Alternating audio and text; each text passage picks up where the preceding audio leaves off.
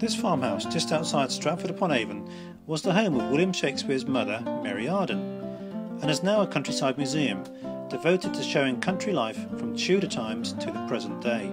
The farm depends on a team of dedicated staff and volunteers. There are over 200,000 volunteers working in the UK every day, from clearing litter to helping with the elderly, and sometimes helping out with animals on the land, like here at the Mary Arden Centre.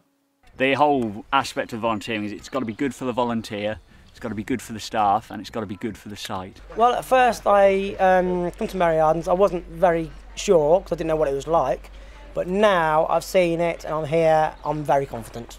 I feel relaxed and more confident when I, I come here. It's a nice friendly atmosphere and my confidence is growing, yeah. When volunteers come to Mary Arden's farm, they have the opportunity to meet people they might not otherwise, make friends, learn skills which they certainly wouldn't have before. And um, by doing those things, it helps to build their confidence.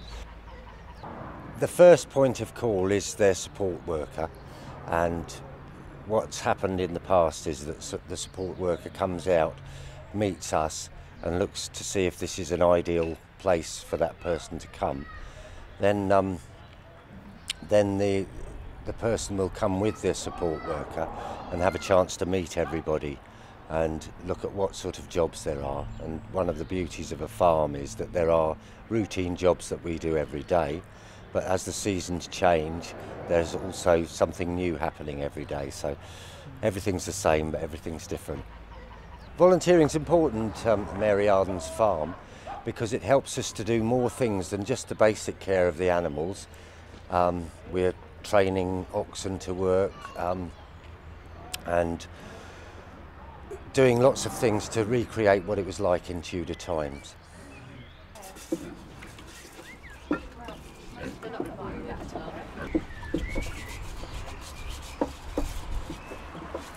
Volunteering is important to me because I've, I've worked all my life in a paid job and it was a job I did enjoy.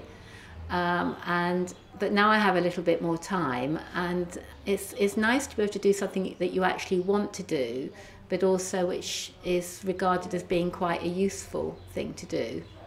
Um, so you're combining something and, and, and also you have a choice. And I think it's lovely in life to find that you have got time to have choices rather than doing all the time what you have to do. The nice thing about Mary Arden's house is it's very flexible. So you're not having to commit yourself for, say, three or four months in a row for specific days and um, st stay to that commitment.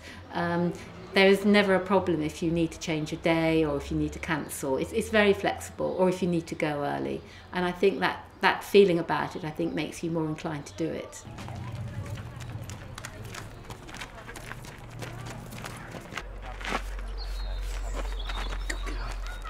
At Mary Marianne's house, I always look after the animals, especially the horses.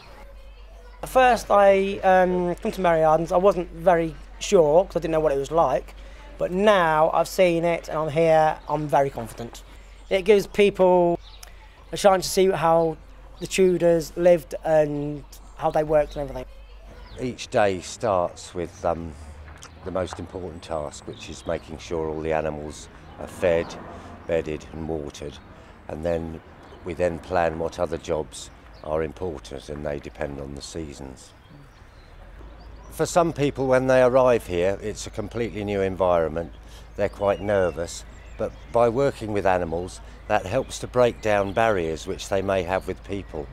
And I think I, I've found that with people from all walks of life, that they start off very unconfident and the confidence builds and they may have a particular animal that they develop a relationship they may go on to eat that animal in years to come, but they've still helped to do the best for it in its life.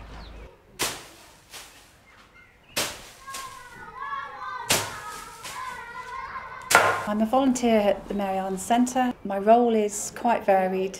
I work quite a bit in Palmer's farmhouse, uh, which involves the cooking, the cleaning, also looking after the animals because it is a working farm and all the things that a maid would have done in Tudor times. Volunteering is very important to me because it's part of my interests. I'm interested in history. I can understand the past, uh, the way people uh, lived, the way they felt, and empathise with um, what was going on. Centre-wise, volunteers help to keep this, this place going, along with the paid staff. The visitors get a better experience, and as we gain in our knowledge as volunteers, we can actually give more to them.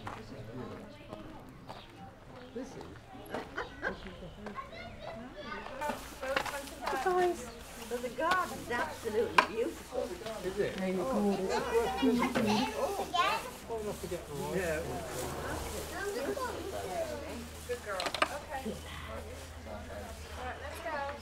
My name's Vicky Kane and I work as um, the operations manager here at Mary Arden's farm. Um, basically, I look after sort of the visitor experience, so what people get to see, like these guys along the route, and I also look after the, the Tudor team. So, as well as these babies, I look after uh, a team of staff and also a team of volunteers that work alongside, ensuring that the project of the living history and the working Tudor farm sort of runs smoothly and is, is a good experience for, for the everyday visitor. Volunteering is, is, is vastly important to us here at Mary Ann's farm because we wouldn't be able to offer the amount of projects and the amount of exciting things that we do on a day-to-day -day basis if we didn't have that volunteering input. Also, it's really, really good for the community so that we actually get people different ideas and different activities and really just get, you know, this isn't our farm, it belongs to everybody. So it's really nice to be able to share that experience with, with, with the wider community. There's really many different ways you can volunteer at Mary Ann's farm. Um, you can get involved with the animals if you like these these beasts. You can, and it's not just about like looking after them, their care. It's also about the wider things like the fencing and making sure like things are safe for them. Um, also, you can get involved in the Tudor Project, which is basically exploring ways in which they lived in the 16th century. So, I mean, at the moment we're doing felting demonstrations. So we're taking the fleece from the sheep. It's that time of year for sheep shearing. Um, so we all learn to, to shear the sheep, and then we take it and we actually create it into a felt jacket or a hat that we could wear.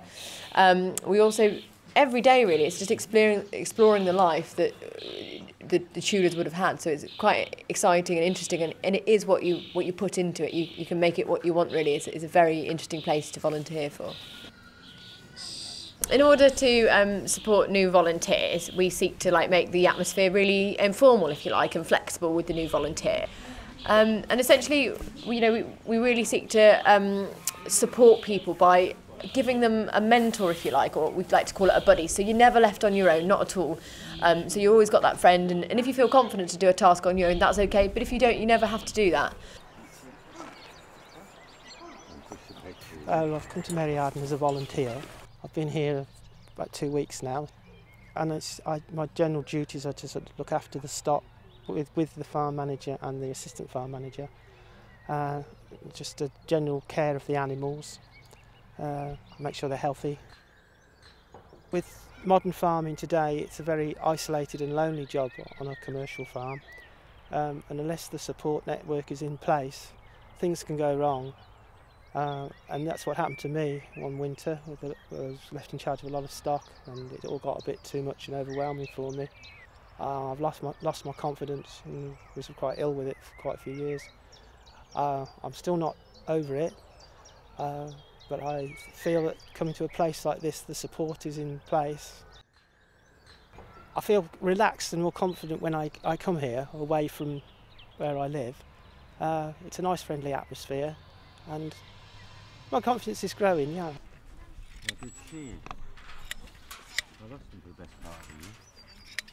My name's Ed, I'm the assistant farm manager and I've been in position for five weeks now. I think volunteering is very important at the Mary Arden site and in the Trust in general and beyond that because I think it gives people an opportunity to do things that in their working life or in their school career they haven't had the chance to do before. There's also the chance to meet a new crowd of people, get friends and just explore and learn different skills. But here at Mary Arden's there's a real variety of ways you can volunteer. You can uh, be on the farm side with myself and Joe can help us look after the animals, get the grassland looking good, and general maintenance of the site. One of the more popular methods is to uh, join the Tudor reenactment side of things and uh, dress up and pretend to be a Tudor for the day and learning all sorts of skills, Tudor wood splitting, Tudor dancing, music. If a volunteer does come and requires a little more attention than perhaps another, always struggling a little, we, uh, we like to prepare them for the job. Joe and I will talk them through the job, we'll perhaps demonstrate to them. If they're struggling then we will stay with them. Some volunteers benefit more from working independently, but there's always either Joe or myself around or the other members of staff on site to help people out.